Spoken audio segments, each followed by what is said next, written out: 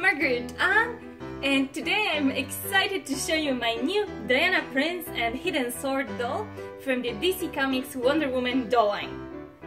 I wanted to get this doll since I saw the pictures of her online, so when I found her in a toy store in Geneva, I bought her on the spot.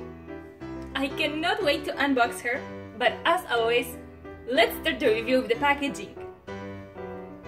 In the top right corner, uh, here it says Wonder Woman.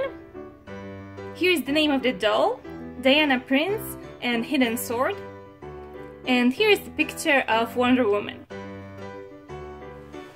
On the side of the box, here you can see Wonder Woman wearing her superhero outfit.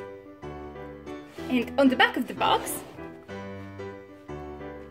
here you can see the picture of the doll and here are the other dolls that are also available in this doll line. Let me show you a close-up.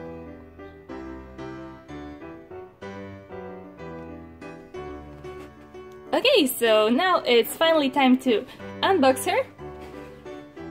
So I'll be right back. And now she's out of the box and she looks amazing.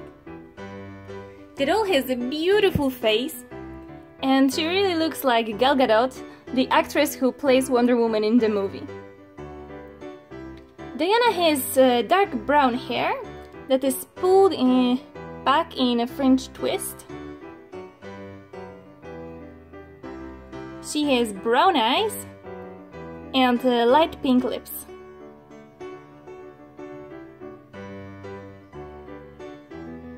Um, she is wearing a fabulous blue dress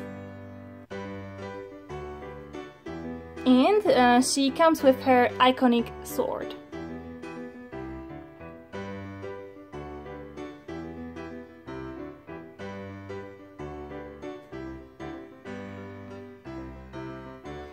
Underneath her dress, she is wearing gold Wonder Woman uh, knee-high boots.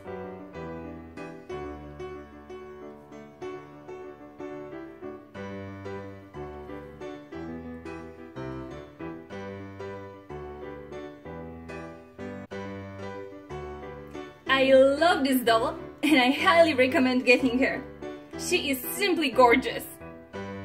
Thank you so much for watching this video. Please subscribe to my channel and check out my blog. You can also follow me on Facebook, Snapchat, Twitter and Instagram. I'll see you soon in my next video. Bye!